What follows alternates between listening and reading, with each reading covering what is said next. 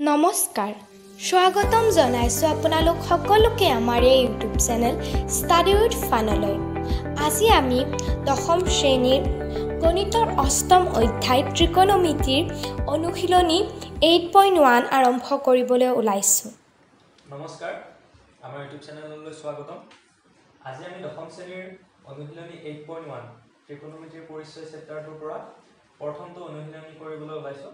যোৱাটো লেকচাৰত তোমালোকে চাইছিলা যে আমি এইটো অনুশীলনীৰ বাবে যিমানখিনি কনচেপ্টৰ প্ৰয়োজন যিমানখিনি ধাৰণাৰ প্ৰয়োজন সেইখিনি আমি দিয়া হৈছিল।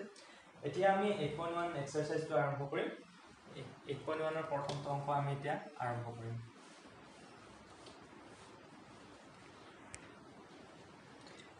অনুশীলনীটো ইমান টান নহয় বহুত সহজে হয়। তোমালোকে যোৱা ক্লাছটো যদি কৰিছিলা তেনেহ'লে এইটো অনুশীলনী গোটেই সহজ হৈ পৰিব। যদি ভিডিঅ' চোৱা নাই তেনেহ'লে চাই ল'বা। আমাৰ লিংকটো তলত দিয়া থাকিব। এতিয়া আমি এইট পইণ্ট ওৱান ষ্টাৰ্ট কৰিম অনুশীলনীৰ এক নম্বৰ অংক। তোমালোকে ভিডিঅ'টো শেষলৈকে চাই থাকিবা গোটেইখিনি ক্লিয়াৰ হৈ যাব। এক নম্বৰ অংকটো দিয়া আছে ত্ৰিভুজ এ বি চিৰ বি কোণটো সমকোণ? আমি এটা ত্ৰিভুজ আঁকিব লাগিব A B C ত্ৰিভুজ।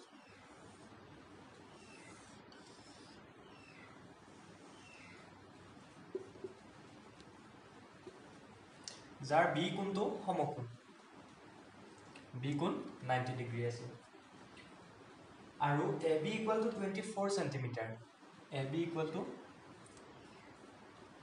twenty four centimetre B C equal to seven centimetre A চিৰ ভেলুটো আমাক দিয়া নাই। এ চিৰ ভেলুটো আমি উলিয়াব লাগিব আৰু এ চিৰ ভেলুটো আমি পাইথাগোৰাছৰ সূত্ৰ ব্যৱহাৰ কৰি উলিয়াই ল'ম। যোৱা ক্লাছত তোমালোকক পাইথাগোৰাছৰ সূত্ৰটো ধুনীয়াকৈ বুজাই দিছিলোঁ। তাৰ পৰা আমি এ চিৰ দৈৰ্ঘ্যটো উলিয়াই ল'ম। এতিয়া আমি কুৱেশ্যনটো মই লিখা নাই। কুৱেশ্যনটো তোমালোকে কিতাপত চাই ল'বা। এনচাৰ দিয়া আছে। A B equal to twenty four centimetre B C equal to seven centimetre আৰু এ চিৰ দৈৰ্ঘ্যটো আমি উলিয়াই ল'ব লাগিব। কাৰণ আমাক প্ৰশ্নটো দিয়া আছে চাইন এ উলিয়াব লাগিব কছ এ উলিয়াব লাগিব প্ৰথমটো অংকত। গতিকে চাইন এ উলিয়াবলগীয়া হ'লে আমাক এ চিৰ দৈৰ্ঘ্যটো লাগিবই। কাৰণ চাইন এৰ ৰেচিঅ'টো হৈছে B C by A C. তোমালোকক যোৱা ক্লাছত এটা ট্ৰিক শিকাই দিছিলোঁ। ট্ৰিকটো তোমালোকে ইউজ কৰিব পাৰা।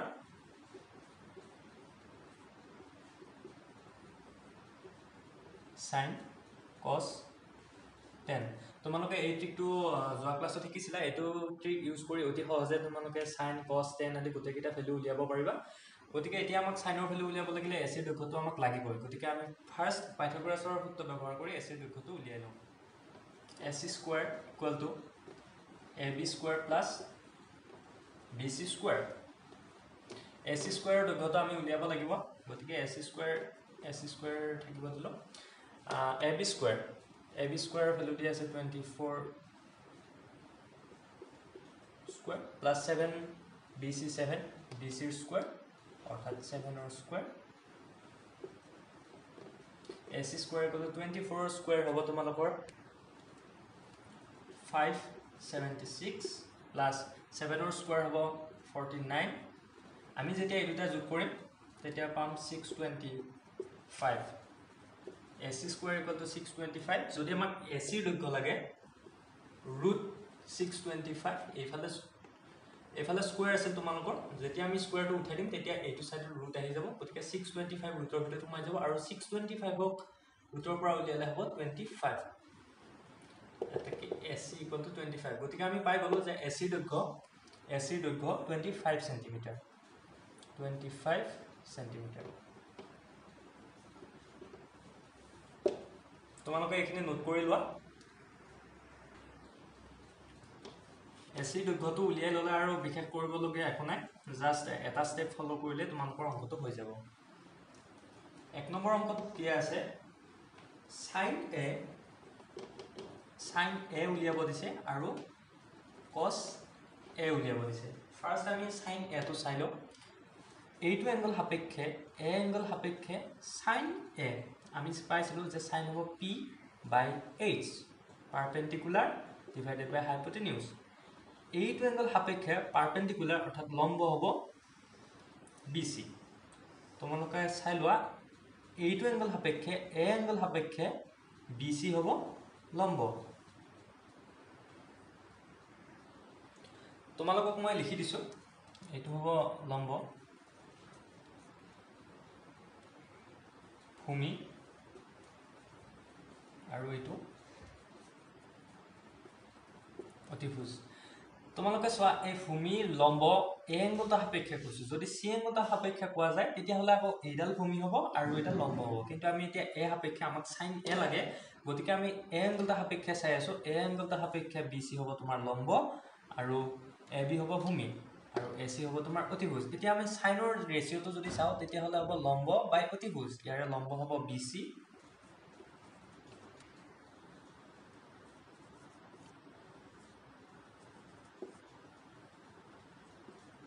পাৰ্পেণ্ডিকুলাৰ অৰ্থাৎ লম্ব বেছ অৰ্থাৎ ভূমি আৰু অতিভুজ হাইপটেলি। এতিয়া তোমালোকে যদি চাইন এৰ ৰেচিঅ'টো চোৱা চাইন এৰ ৰেচিঅ' হ'ব B C by A C অৰ্থাৎ লম্ব ডিভাইডেড বাই অতিভুজ। তোমালোকক শিকাই দিয়া ট্ৰিকটোৰ পৰা চাব পাৰা P by H P by H অৰ্থাৎ লম্ব B C by A C. এতিয়া বি চিৰ ভেলু আমাক দিয়া আছে বি চিৰ ভেলু দিয়া আছে ছেভেন আৰু এ চি এ চিৰ ভেলু দিয়া আছে টুৱেণ্টি ফাইভ গতিকে আমি চাইন এৰ ভেলু পালোঁ ছেভেন বাই টুৱেণ্টি ফাইভ এতিয়া আমি দুই নম্বৰ কুৱেশ্যনটো কৰিম। দুই নম্বৰ কুৱেশ্যন মানে এক নম্বৰতে দিয়া আছে কিন্তু কছ এ দিয়া আছে। আমি কছ এটো কৰিম এতিয়া। এতিয়া আমাক কছ এৰ ভেলু লাগে আৰু এ এংগল সাপেক্ষে কছৰ ৰেচিঅ'টো হ'ব B by H B by H B অৰ্থাৎ ভূমি। ভূমি হ'ব এ এংগলটোৰ সাপেক্ষে এ বি আৰু অতিভুজ এ চি। এ এংগল সাপেক্ষে বি চি। চৰি এ বি এইটো এংগল সাপেক্ষে ভূমি এ বি আৰু অতিভুজ এ চি। গতিকে এ বিৰ ভেলু আমাক দিয়া আছে এ বিৰ value twenty four centimetre twenty four centimetre A চিৰ ভেলু দিয়া আছে twenty five centimetre twenty five centimetre গতিকে আমি কছ এৰ ভেলু পাই গ'লোঁ twenty four by twenty five centimetre এক নম্বৰৰে আৰু এটা পাৰ্ট দি আছে। সেইটো পাৰ্ট তোমালোকে বুজিয়ে পাবা। গোটেই সহজে হয়। এইমাত্ৰৰ পৰা অংকটোৰ দৰে ঠিক একেই। কিন্তু ইয়াতে এংগলটো সলাই দিছে। আমি যোৱাবাৰ এইটো এংগলৰ সাপেক্ষে চাই আছিলোঁ। এতিয়া আমাক চি এংগলটো সাপেক্ষে চাব দিছে। এতিয়া আমি এইটো এংগল সাপেক্ষে নহয় এইটো এংগল সাপেক্ষে চাব লাগিব। চাইন চি চাইন চি কি হ'ব? চাইন চি হ'ব তোমালোকৰ A B by A C তোমালোকে ভাবিব পাৰা এ বি বাই এ চি কেনেকৈ হ'ল কিন্তু আমি চি সাপেক্ষে চাই আছোঁ। যোৱাবাৰ আমি এ সাপেক্ষে চাইছিলোঁ। যোৱাটো অংকত আমি এ সাপেক্ষে চাই আছিলোঁ আৰু এ সাপেক্ষে চাইন এ হৈছিলে তোমাৰ B C by A C কিন্তু এইবাৰ আমি চি এংগলটা সাপেক্ষে চাই আছোঁ। চি এংগলটা সাপেক্ষে লম্ব হ'ব তোমাৰ বি চি এইটো লম্ব হৈ যাব তোমাৰ চি এংগলটো সাপেক্ষে। আৰু বি চি হ'ব তোমাৰ ভূমি আৰু অতিভুজ একেই থাকিব। গতিকে আমাক চাইন চি লাগে। এইটো এংগল সাপেক্ষে আমাক চাইন চি লাগে আৰু চাইনৰ ৰেচিঅ'টো পি বাই এইচ এইটো এংগল সাপেক্ষে চি এংগলটো সাপেক্ষে এ বি হ'ব তোমালোকৰ পি আৰু এ চি হ'ব তোমালোকৰ এইচ গতিকে sine C equal to A B by A C A বিৰ ভেলুটো আমি ইয়াৰ পৰা বহাই দিলোঁ টুৱেণ্টি ফ'ৰ আৰু এ চিৰ ভেলুটো টুৱেণ্টি ফাইভ আকৌ দিয়া আছে কছ চি যোৱাবাৰ আমি কছ এ চাইছিলোঁ যোৱাটো নম্বৰত আমি কছ এ চাইছিলোঁ কছ এ এইটো এংগল সাপেক্ষে চাওঁতে হৈছিল তোমাৰ এ বি বাই এ চি কিন্তু এইবাৰ আমি এইবাৰ চি সাপেক্ষে চাম চি সাপেক্ষে যদি আমি কছ চি চাওঁ তেনেহ'লে হ'ব B C by A C চিৰ ভেলু হ'ব ছেভেন এ চিৰ ভেলু হ'ব টুৱেণ্টি ফাইভ এক নম্বৰ কুৱেশ্যনটো তোমালোকৰ হৈ গৈছে। এতিয়া আমি দুই নম্বৰ কুৱেশ্যনটো কৰিবলৈ ষ্টাৰ্ট কৰিছোঁ। দুই নম্বৰ কুৱেশ্যনটোত তোমালোকক টেন পি মাইনাছ কটাৰ উলিয়াব দিছে। টেন পি মাইনাছ কটাৰ আমি উলিয়াব উলিয়াব লাগিব। আৰ দিয়া আছে থাৰ্টিন চেণ্টিমিটাৰ ডায়েগ্ৰামটো তোমালোকৰ কিতাপত দিয়া আছে। পি আৰ থাৰ্টিন চেণ্টিমিটাৰ দিয়া আছে P Q twelve centimetre P Q twelve centimetre আৰু কিউ আৰ কিউ আৰটো আমাক দিয়া নাই কিউ আৰটো আমি উলিয়াই ল'ব লাগিব। পাইথাগোৰাছৰ সূত্ৰ ব্যৱহাৰ কৰি আমি কিউ আৰটো উলিয়াই ল'ব লাগিব। আগতে যিদৰে আমি উলিয়াইছিলোঁ ঠিক তেনেদৰে আমি সূত্ৰটো বহুকেইবাৰ আলোচনা কৰিছোঁ। পি আৰ স্কুৱেৰ মানে কৰ্ণৰ স্কুৱেৰ ইকুৱেল টু ভূমি square plus লম্বৰ square P R square P R square Q R square plus P Q square গতিকে আমাক এতিয়া কিউ আৰ লাগে গতিকে কিউ আৰটো উলিয়াব হ'ল উলিয়াব লাগিলে আমি পি কিউটো মাইনাছ কৰি দিব লাগিব। ইয়াৰ পৰা তেতিয়া কিউ আৰটো ইফালে থাকি যাব। পি আৰ থাৰ্টিন চেণ্টিমিটাৰ আমি স্কুৱেৰ কৰি দিলোঁ থাৰ্টিনৰ square one sixty nine minus P Q P Q দিয়া আছে টুৱেল্ভ চেণ্টিমিটাৰ টুৱেল্ভ চেণ্টিমিটাৰ টুৱেল্ভৰ আমি স্কুৱেৰ কৰিলোঁ one forty four থাৰ্টিনৰ square one sixty nine minus টুৱেলভৰ square one forty four এতিয়া আমি কিউ স্কুৱেৰ পাম টুৱেণ্টি ফাইভ যদি আমাক কিউ আৰ লাগে ইফালে ৰুট স্কুৱেৰটো গুচি যায় ইফালে ৰুট হ'ব ৰুট টুৱেণ্টি ফাইভৰ ভেলু হ'ব ফাইভ এতিয়া আমি পাইছোঁ যে কিউ আৰৰ ভেলু হ'ব ফাইভ ইয়াতে আমি কিউ আৰৰ ভেলু ফাইভ চেণ্টিমিটাৰ লিখি দিছোঁ। এতিয়া আমাক লাগে টেন বি টেন বি আগতে আমি টেন আলোচনা কৰিছোঁ। টেন হৈছে তোমালোকৰ কোনো এটা আংগুল সাপেক্ষে টেন হৈছে লম্ব। ডিভাইডেড বাই ভূমি। আমাক এতিয়া সুধিছে পি এইটো এংগল সাপেক্ষে সুধিছে এইটো এংগল সাপেক্ষে লম্ব হ'ব তোমাৰ কিউ আৰ। আৰু ভূমি হ'ব P Q minus cot R cot সুধিছে কটৰ ফৰ্মুলাটো আমি জানো যে বি বাই পি বেছ আপন পাৰ্পেণ্ডিকুলাৰ গতিকে আমি এইটো এংগল সাপেক্ষে ভূমি হ'ব কিউ আৰ আৰু আমাক লাগে পি কিউ পি কিউ এতিয়া তোমালোকে দেখিব পাইছা যে এইটো টাৰ্ম আৰু এইটো টাৰ্ম একে হয় গতিকে এটাৰ পৰা এটা গুচি যাব এনচাৰ জিৰ'ই হ'ব তোমালোকে ভেলুবিলাকো পাতি দিব পাৰা। যদি আমি ভেলুবিলাক পাতি দিওঁ তেনেহ'লে হ'ব Q R five P Q twelve five twelve answer zero' দুই নম্বৰ কুৱেশ্যনৰ এনচাৰ জিৰ' হ'ব। এতিয়া আমি তিনি নম্বৰ কুৱেশ্যনটো কৰিম। তিনি নম্বৰ কুৱেশ্যনটো দিয়া আছে, মই লিখি দিছোঁ কুৱেশ্যনটো। চাইন এ ইকুৱেল টু যদি sine A equal to three by four হয়,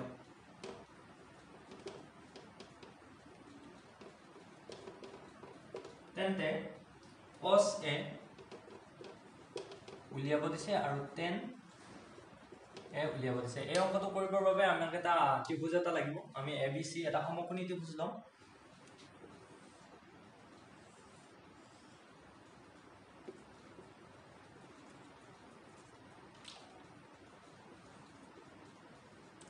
এ বি চি সমকোণী ত্ৰিভুজ আমি বি কোণটো নাইণ্টি ডিগ্ৰী ল'লোঁ। এতিয়া কুৱেশ্যনটো কৰিবলৈ হ'লে আমি ফাৰ্ষ্ট ইয়াৰ পৰা ষ্টাৰ্ট কৰিব লাগিব। Sine A equal to three by four first আমি লিখিম দিয়া আছে sine A equal to three by four এতিয়া আমি যোৱা ক্লাছতো পঢ়িছিলোঁ আৰু আজিও এক নম্বৰ আৰু দুই নম্বৰ অংকটোত পঢ়িছিলোঁ। চাইন এ এই এংগলটোৰ সাপেক্ষে চাইন এৰ ৰেচিঅ'টো কি হ'ব? আমি চাইন এ ইয়াৰ পৰা যদি চাওঁ পি বাই এইচ এই এংগলটোৰ সাপেক্ষে পি হ'ব তোমালোকৰ বি চি এইচ হ'ব তোমালোকৰ এ চি এতিয়া তোমালোকে চাব পাৰা B C equal to three দিয়া আছে অৰ্থাৎ B C equal to three C M দিয়া আছে আৰু A C equal to four C M দিয়া আছে। কিন্তু আমাক এ বিটো দিয়া নাই আৰু এ বিটো আমি উলিয়াই ল'ব লাগিব। এ বিটো আমি পাইথাগোৰাছৰ সূত্ৰ ব্যৱহাৰ কৰি উলিয়াই লওঁ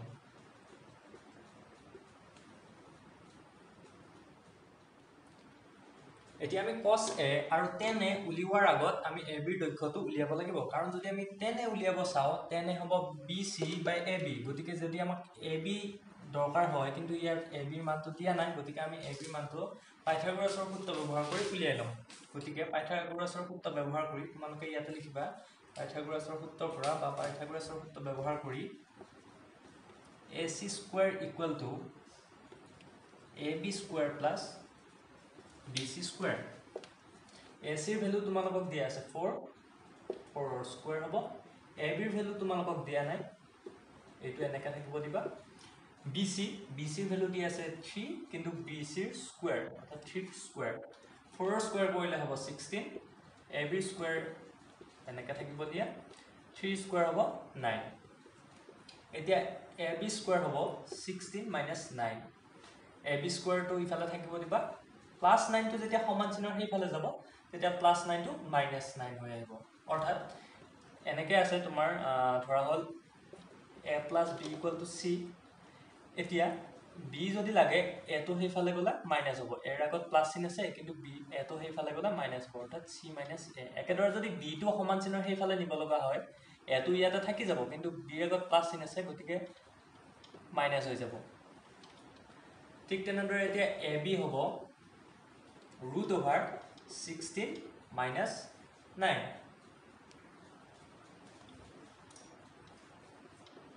A B equal to root over sorry root over seven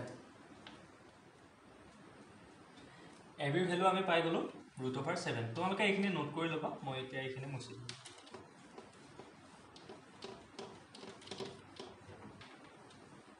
এইখিনিও মুচিয়ে দিলোঁ।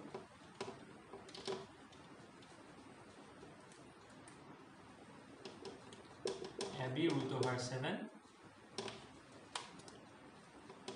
B C three A C four এতিয়া আমাক কছ এ লাগে আৰু তাৰপাছত টেন এ লাগে। এতিয়া ফাৰ্ষ্ট আমি কছ এটো চাই ল'ম। কছ এ এইটো এংগল সাপেক্ষে আমাক কছ এ লাগে। কছ এ যদি তোমালোকে চোৱা বি বাই এইচ গতিকে এইটো এংগল সাপেক্ষে কছ এ হ'ব বি বাই এইচ বি অৰ্থাৎ A B by H A C A বিৰ ভেলুটো আমি পালোঁ ৰুট অভাৰ ছেভেন এ চিৰ ভেলু আমি পাই গ'লোঁ ফ'ৰ তাৰপাছত লাগে আমাক tan A tan A tan A উলিয়াব লাগিলে আমাক লাগিব বি চি বি চি আমাৰ হাতত আছে তিনি আৰু তাৰপাছত লাগিব A B root over seven ভেলুকেইটা আমাৰ হাতত আছে গতিকে টেনৰ ৰেচিঅ'টো হ'ব B C by A B P by B যদি তোমালোকে এই ট্ৰিকটোৰ পৰা চাই লোৱা তেনেকৈ পাৰিবা পি বাই পি এতিয়া এ এংগল সাপেক্ষে টেন এ হ'ব B C by A B B C by A B B চিৰ ভেলু যদি তোমালোকে চোৱা থ্ৰী আৰু এ বিৰ ভেলু ৰুট অভাৰ ছেভেন তিনি নম্বৰ কুৱেশ্যনটো হৈ গৈছে। এতিয়া আমি চাৰি নম্বৰ কুৱেশ্যনটো কৰিম। চাৰি নম্বৰ কুৱেশ্যনটো তিনি নম্বৰ কুৱেশ্যনটোৰ লগত প্ৰায় একে বা আগতে কৰি অহা অংককেইটাৰ লগত প্ৰায় একে কিন্তু এটা ষ্টেপ বেছিকৈ কৰিব লাগে। সেই ষ্টেপটো দেখাই দিছোঁ। সেই ষ্টেপটো দেখাই দিয়াৰ পাছত তোমালোকে পাৰিবাই। মই জাষ্ট সেইটো ষ্টেপ দেখাই দিছোঁ। তাৰ পাছৰখিনি তোমালোকে নিজে নিজে কৰিব পাৰিবা।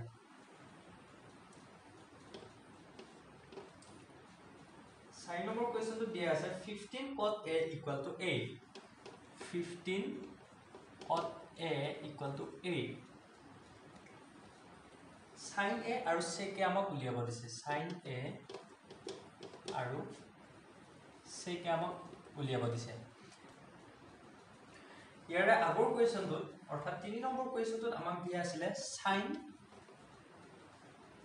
A equal to three by four আৰু এইবাৰ আমাক দিয়া আছে fifteen cot A equal to eight এতিয়া যদি তোমালোকে চোৱা যিটো আগৰ অংক আছিলে তাত ইয়াতে কোনো সংখ্যা নাছিলে কিন্তু ইয়াতে এটা সংখ্যা লগাই দিছে। এতিয়া তোমালোকে চোৱা যে এইটো য'ত আগৰ অংকটোত আছিলে আৰু এইটো য'ত আমাক এতিয়াৰ অংকটোত আছিলে প্ৰায় একে কিন্তু ইয়াত এটা ষ্টেপ বেছিকৈ কৰিব লাগে। আৰু সেই ষ্টেপটো হৈছে cot A equal to eight by fifteen অৰ্থাৎ এইফালে পূৰণ হৈ থকা ফিফটিনটো সেইফালে হৰণ হৈ যাব। এতিয়া চোৱা sine A equal to three by four আৰু cot A equal to eight by fifteen দুয়োটা প্ৰায় একেই হৈ পৰিল। মাত্ৰ ইয়াতে চাইন এ আছে আৰু ইয়াতে কট এ আছে। এতিয়া যোৱাবাৰ যেনেকৈ আমি চাইন এৰ জেগাত আমি চাইন এৰ জেগাত B C by A C কৰি দিছিলোঁ ঠিক তেনেদৰে এইবাৰ তোমালোকে কট এৰ জেগাত তোমালোকে ইয়াৰ পৰা চাব পাৰা কট এ বি বাই পি এ এংগলটোৰ সাপেক্ষে বি হ'ব এ চি চৰি এ বি আৰু পি হ'ব বি চি গতিকে তোমালোকে ইয়াত A B by B C eight by fifteen কৰি এইট বাই ফিফটিন কৰি দিবা।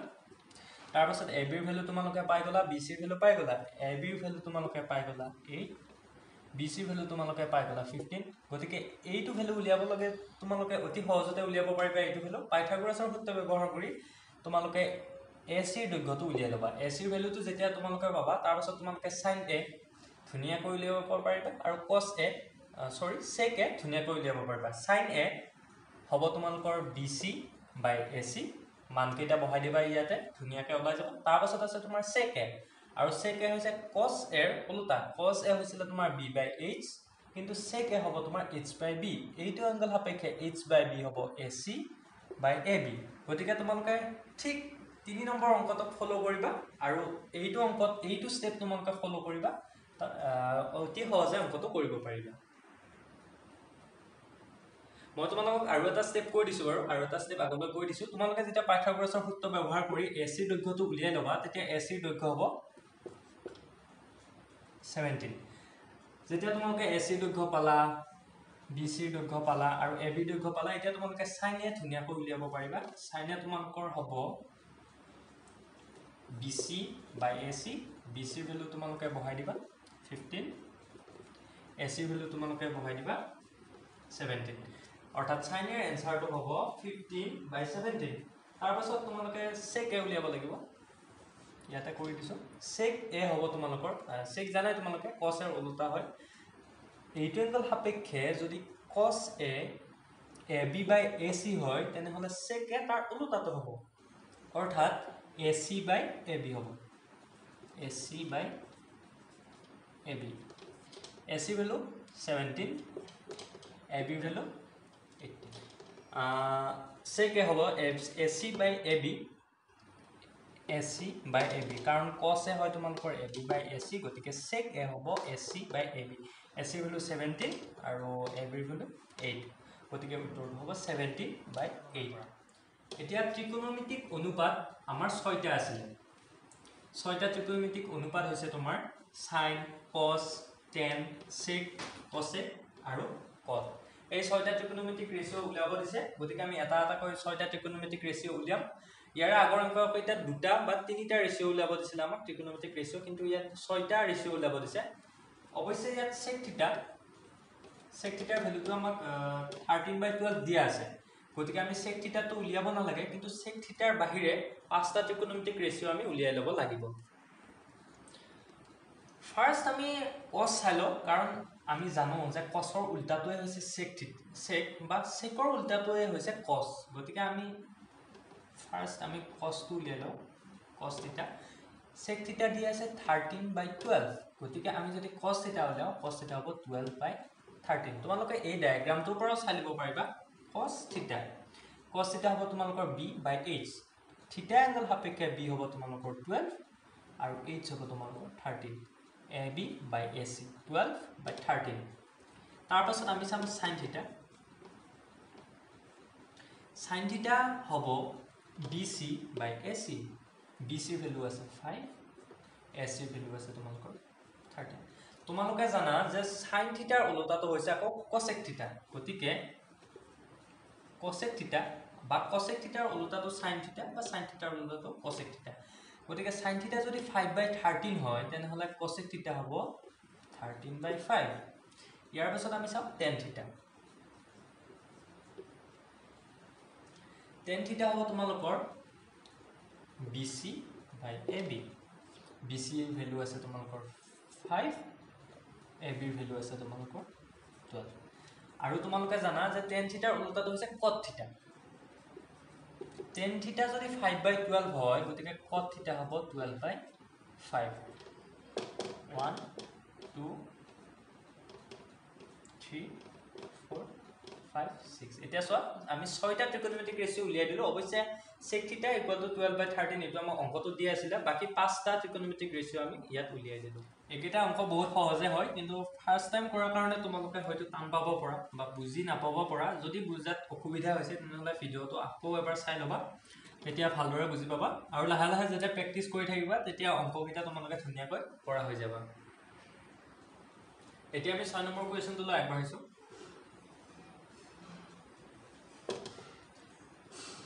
কুৱেশ্যনটো দিয়া আছে যদি এ আৰু বি সূক্ষ্ম কোণ হয়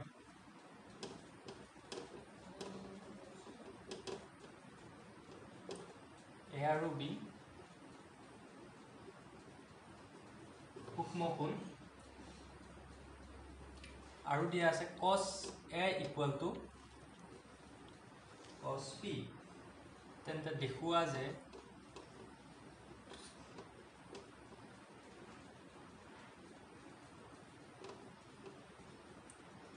angle A equal to angle B প্ৰশ্নটোত কি কৈছে? এবাৰ ভালকৈ পঢ়ি দিছোঁ। এটা ত্ৰিভুজ আছে ত্ৰিকোণমিতিৰ অংকবিলাকত আমাক প্ৰায়ে এটা ত্ৰিভুজ লাগেই এটা সমকোণী ত্ৰিভুজ। এই সমকোণী ত্ৰিভুজটোৰ এংগল এ আৰু এংগল বি সূক্ষ্ম কোণ এইটোতো হ'ল আমাৰ নাইণ্টি ডিগ্ৰী এংগল ইয়াৰে এ কোণ আৰু বি কোণ সূক্ষ্ম কোণ এইটো বি কোণ।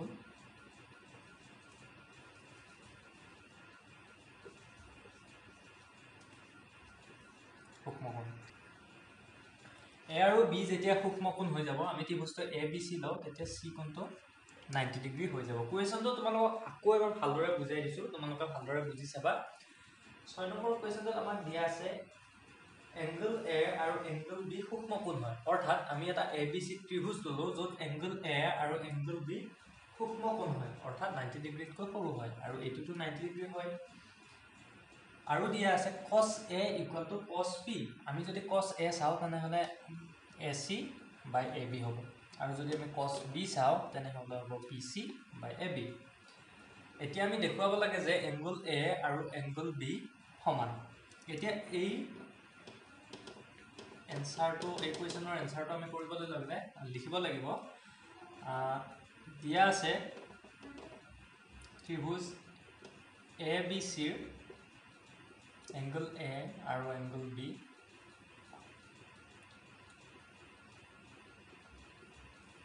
সূক্ষ্ম কোণ আৰু আমাক দিয়া আছে চি কোণটো নাইণ্টি ডিগ্ৰী এইটো কৈছে আমাক ইনডাইৰেক্টলি দিয়া আছে অৰ্থাৎ এ এংগল আৰু বি এংগলটো যদি নাইণ্টি ডিগ্ৰীতকৈ সৰু হয় তেতিয়াহ'লে চি এংগলটো নাইণ্টি ডিগ্ৰী হ'বই লাগিব। কাৰণ সমকোণী ত্ৰিভুজত এটা এংগল নাইণ্টি ডিগ্ৰী থাকেই। এ আৰু বি ইয়াতেতো নাইণ্টি ডিগ্ৰী নহয়েই গতিকে চি এংগলটো নাইণ্টি ডিগ্ৰী হ'ব। এতিয়া তাৰ পিছৰ ষ্টেপত আমি কছ এ আৰু কছ বি উলিয়াই ল'ব লাগিব। আমি যদি কছ এ উলিয়াওঁ এইটো এংগল সাপেক্ষে কছ এ হ'ব তোমাৰ এ চি বাই এ বি আৰু কছ বি যদি উলিয়াওঁ এইটো এংগল সাপেক্ষে কছ যদি আমি উলিয়াওঁ তেতিয়াহ'লে হ'ব B C by A B এতিয়া আমি ইয়াৰ পৰা cos A equal to cos B দিয়া আছে গতিকে আমি cos A equal to cos B কৰি চাম। তোমালোকে এইখিনি নোট কৰি লোৱা মই এইখিনি মুচি দিম এতিয়া।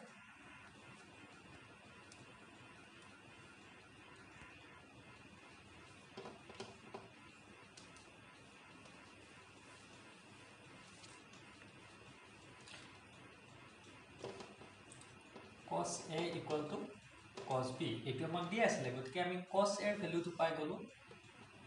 S C by A B আৰু কছ বিৰ ভেলুটো পাই গ'লোঁ B C by A B A B A B তোমাৰ কেঞ্চেল হ'ব A C equal to B C হ'ব অৰ্থাৎ A C equal to B C হ'ব অৰ্থাৎ এইডাল আৰু এইডাল বাহু সমান হ'ব।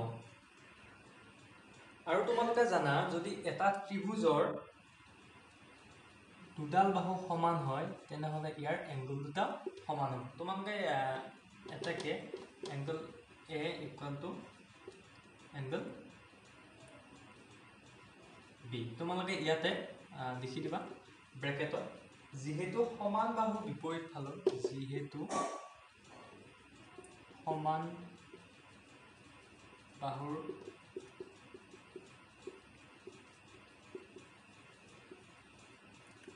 বিপৰীত ফালৰ কোণকেইটা সমান?